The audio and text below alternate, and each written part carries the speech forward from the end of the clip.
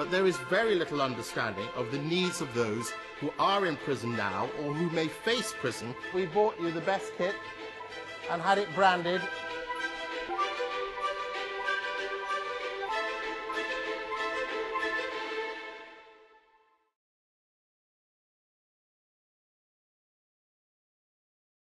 Lord Hastings, it's lovely to meet you. I'm really looking forward to getting to know you a bit better. I want to start with your early childhood. Tell me what was that like? England, the northwest, um, born in Widnes.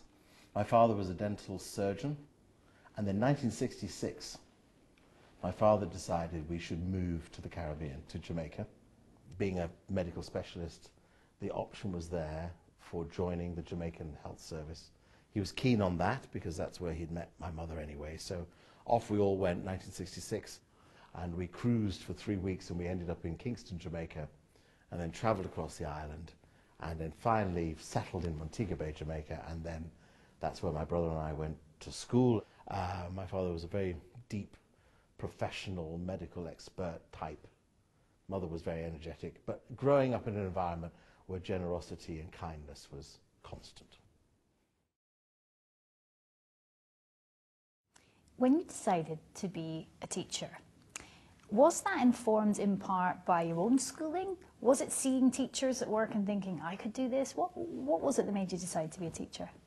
I just was very motivated that teaching is such, a, is such an amazing it's such an amazing gift to give to others. You know, we learn best when we share what we know. From teaching, then you move closer to government. How does that happen?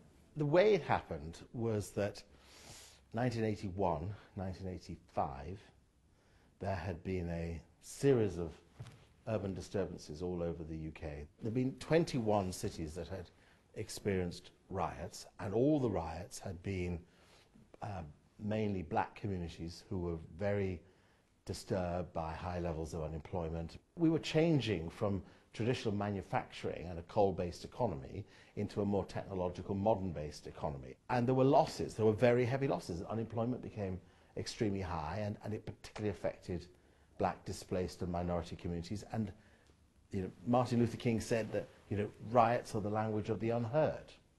And so people rioted. There was I, as a school teacher at half term, sitting at home by my desk, preparing lessons, and the phone rings. And it's someone from number 10 who I haven't seen for six years. And he basically says to me, Can I come in and have a conversation in number 10 within 24 hours? And it was, We need a conduit.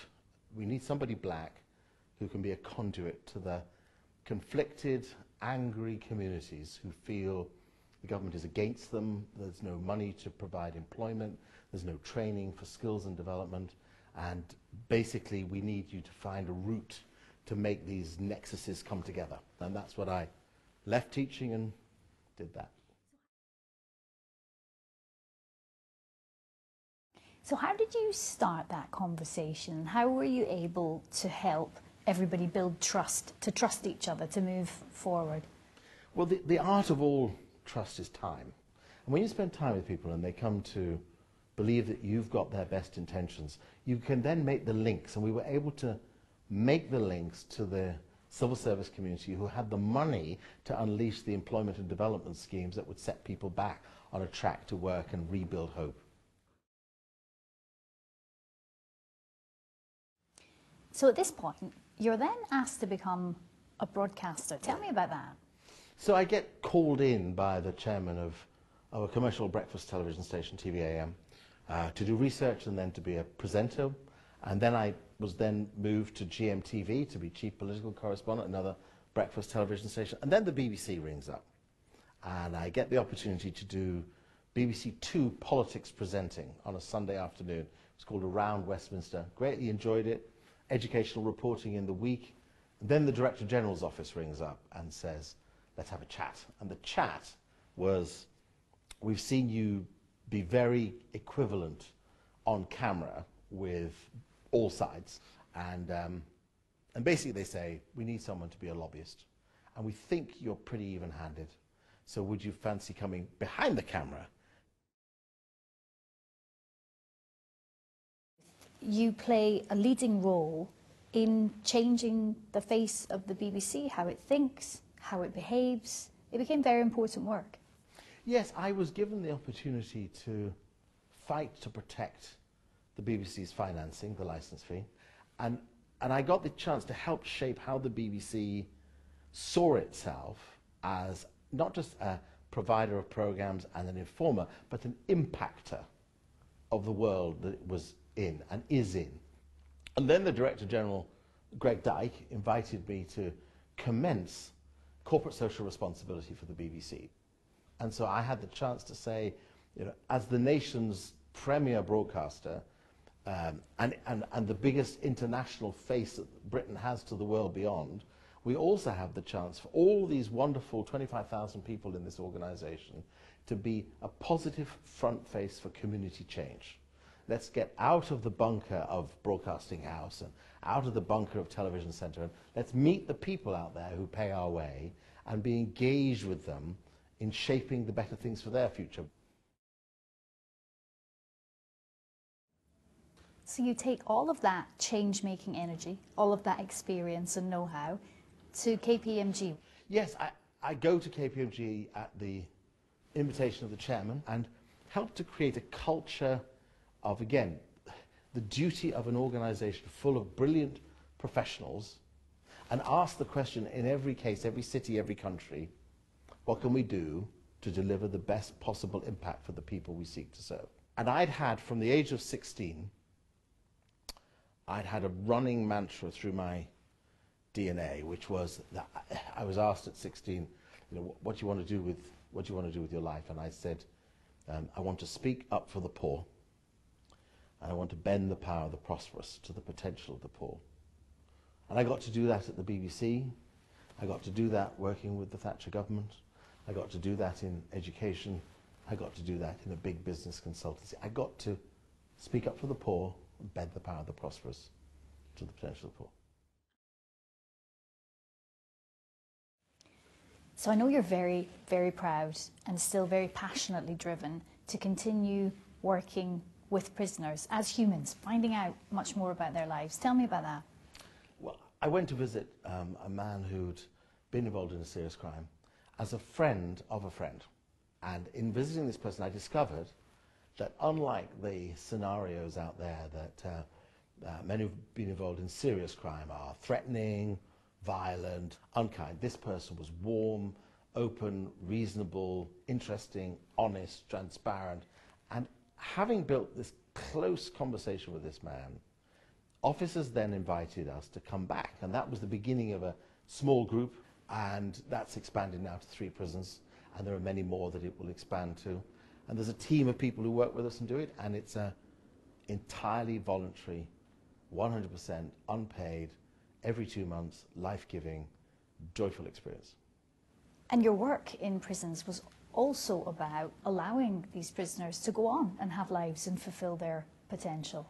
Well, I, have I've come to see, to realize and to believe that even if someone has committed a crime of great seriousness and discomfort to wider society, they're still a human being of, of intrinsic value. They still have to become a citizen of value to the wider world at some point. And our task is to walk the journey with them, to give them the hope and certainty of love and to engage with their mind in such a way that they believe the best of themselves. Many of those we've also met have been the subject of miscarriages of justice. I've read so many cases which do not add up. And getting those cases reheard through the system is something we also seek to do. So defending them when they are meant to be accused and helping them when accused and convicted to become the best person they always wanted to be. And is there any particular tool of, or way that you've found that can really deepen those relationships? Building trust is, is very important because the system says we don't trust you, so we lock you up. And in a lot of their early lives, they've been distrusted. And then they come into prison and it's all about disconnection and officers and controls. And we're looking for this magic extra something to connect with them. And we said, football, that's it.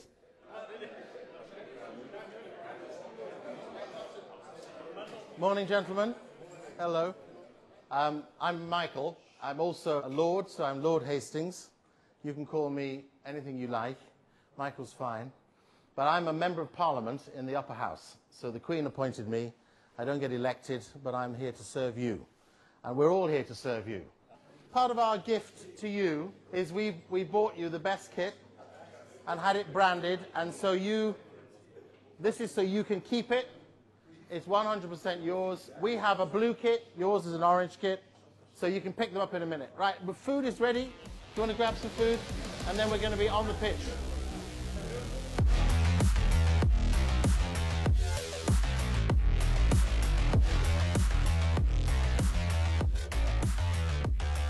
Oh,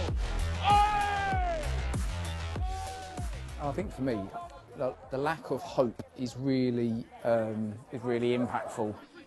This is hard to quantify, Yes, it is. um, and it's not something you can just pluck off the shelf and deliver. Um, I think it comes from a genuine place. So I think giving them a, a structure and giving them some hope and giving them some direction and some support, Yeah. some of these lads will hopefully and will, you know, um, transition into the community, and you know, with the sort of support that you and you and the chaps can give them will be fantastic. And they they're- will be citizens. yeah, Exactly, because their minds are open. yeah. You can tell from the beginning.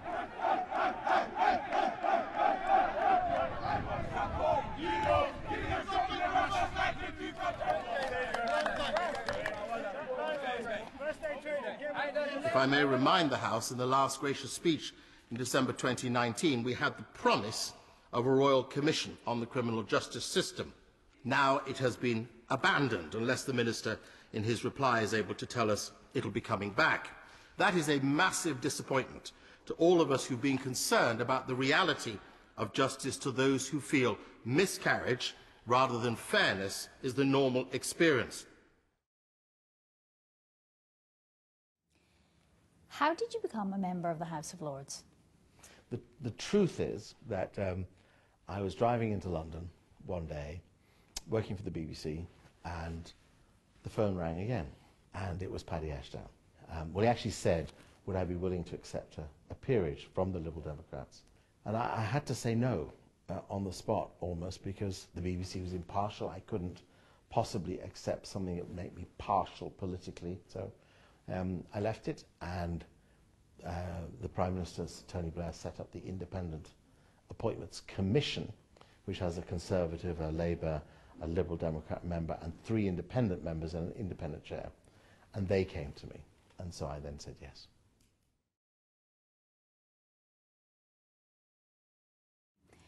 Tell me about when you were initially part of the Lords. What did you decide to focus on? Well, I began because I'd been um, I'd been at the BBC. I began by joining the Broadcasting Select Committee. But as my role in KPMG got bigger and bigger and bigger, I couldn't commit to the dates.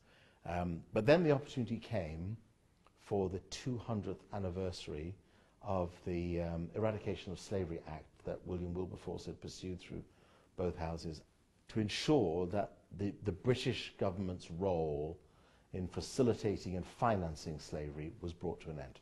So I led a day's campaign, a day's activism, and a day's debate on William Wilberforce and his life. And I was so proud of that because he was the liberator for the very people from whom I am birthed. Tell me about what you're particularly proud of. I'm particularly proud of the people that I get to see who make their choices to change their own lives. And I can stand in the background or behind with them and help them to make better choices. I'm proud of them. I'm proud of their will to transform. I'm proud of being associated with people in the countries of the world, particularly across the continent of Africa. I've been able to visit 16 countries. I've seen the worst of the worst and the best of the best. And I'm proud of, of people who are on the margins of life that other people have no time for, who I find to be wonderful and warm and open. I'm proud of them. That's what I'm really proud of. I'm proud of seeing other people achieve their potential.